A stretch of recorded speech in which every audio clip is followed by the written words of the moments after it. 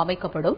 தனியார் பள்ளிகளில் உள்ளது போல் அரசு பள்ளிகளிலும் இரண்டாம் மொழியாக ஹிந்தி மற்றும் பிரெஞ்சு கொண்டு வரப்படும் புதுச்சேரி அரசு பொது மருத்துவமனை பல்நோக்கு மருத்துவமனையாக தரம் உயர்த்தப்படும்.